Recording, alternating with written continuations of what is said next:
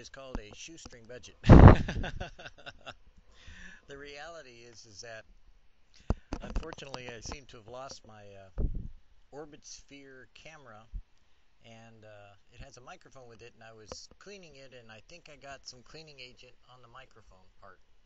So I'm either down a camera and maybe little orbit sphere it stands on a little base you know it's kind of cute but eventually I'll wind up replacing it but for now temporarily it looks like we improvise and that's one of the things that I've always been able to do overseas underseas in this house wherever I'm at whatever I'm doing there's always some way that God brings through his way to accomplish anyways what he would have us to do so in Spurgeon today Wait on the Lord.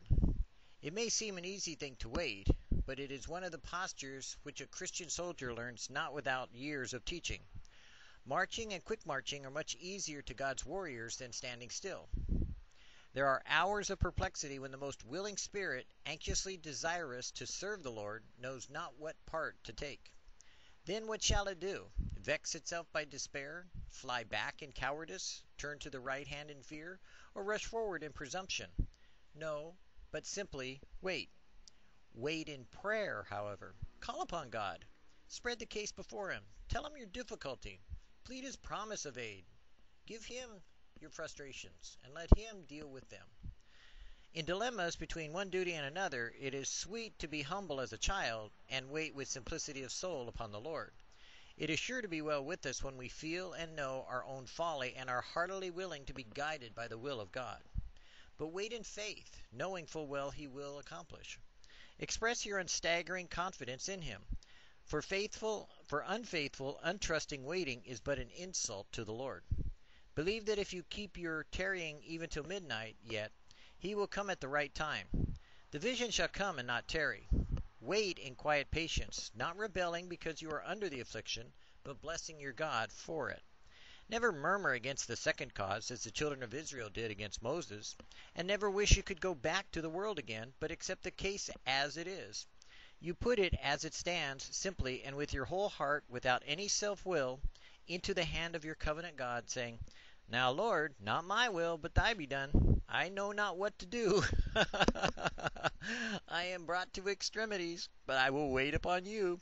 And thou shalt cleave the floods or drive back my foes. I will wait if thou keep me many a day, for my heart is fixed upon thee alone.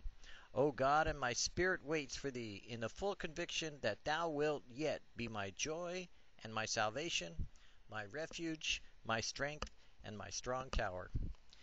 And in silly circumstances as well as in major, whether it be a microphone going out or whether it be your house getting flooded or whatever the circumstance, God wants you to trust him if he says wait, but also talk to him if he says that there is a time period for you to wait. So do what you can, as I have, but at the same time, wait for his accomplishing purposes to be done for you, in you, and with you.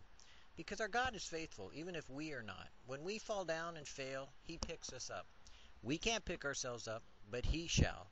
And he will always provide for us some way that we will learn from it and thank Him for being not only our Lord, but our God and our Savior. Because Jesus gave Himself for us, and we need but to trust Him with all of our heart, to not lean in our own understanding, in all our ways acknowledge Him, and He will direct our path. Even as He directed mine to this microphone. and as we find, we will solve this issue one way or another.